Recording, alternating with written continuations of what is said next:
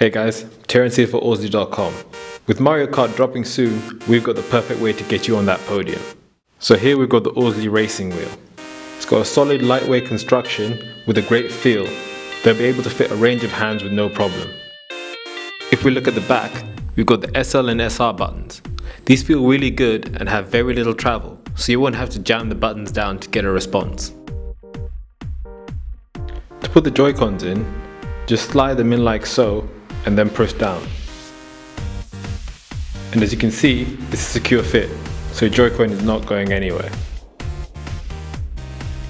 On the front, we've got an LED screen that lets you know when your controller is synced and what your player number is without having to take the Joy-Con out.